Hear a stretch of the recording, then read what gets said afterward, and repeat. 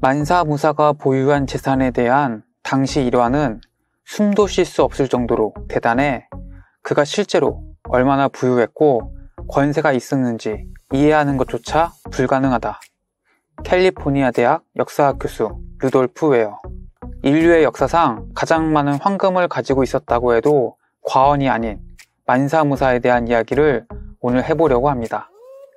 당시 그가 가졌던 황금의 가치를 따지면 현재까지도 단숨에 세계 최고의 부호의 자리에 오른다고 하는데요. 당시 전 세계에 유통되는 금의 양의 70% 이상을 가지고 있었다니 그가 가졌던 황금의 양이 상상조차 되지 않습니다. 그는 어떻게 해서 그런 부자가 될 수 있었을까요? 만사무사가 누린 부와 권력은 니제르강 유역을 따라 위치한 말리 왕국의 지정학적 위치, 그리고 사하라를 관통하는 주요 횡단 무역로의 교차점에 들어선 경제학적 위치와 관련이 있습니다. 무역상들은 이집트를 거쳐 말리로 들어왔고 말리는 사람과 물건이 오가는 서아프리카 최대의 교역국이었습니다. 여기서 거래된 상품들 중 대표적인 것이 소금과 금이었는데 소금과 금은 인류 역사 내내 화폐로 사용된 중요한 물건이었습니다. 소금 거래는 말리 북부 타가자 광산에서 금거래는 반북의 금광에서 시작되었는데 그곳에서 캐낸 금의 양이 세계 공급량의 절반을 차지할 정도였다니 정말 어마어마했습니다.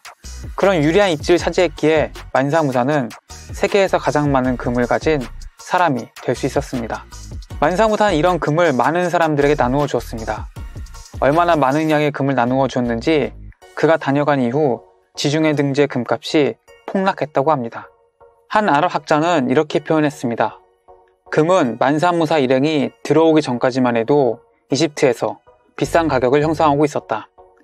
미트칼은 25디르함 이하로 내려가지 않고 대체로 그 위에 머물러 있었으나 그때부터 가치가 떨어져 지금까지도 폭락한 상태를 유지하고 있다. 미트칼은 22디르함 이하를 초과하지 않고 있다. 그들이 이집트에 들어와 소비한 많은 양의 금 때문에 이것이 오늘날까지 약 12년 동안 이런 식으로 가격이 머물러 있다. 지중해의 금값을 한 사람이 직접 통제한 것은 역사상 만사무사가 유일합니다. 만사무사가 이렇게 금을 나눠준 데는 다 이유가 있습니다. 바로 이슬람교의 자카트라고 불리는 의무 때문에 그런데요. 빈자에 대한 자선과 기부의 의무입니다. 무슬림이라면 반드시 구율과 자선을 통해 자신의 신앙을 입증해야 했습니다.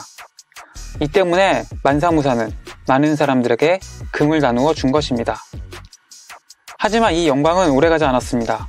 만사무사가 성지순례를 다녀온 후 국력은 급격히 기울기 시작했고 지금은 외부의 원조가 없으면 살아갈 수 없는 경제 수준이 되었습니다.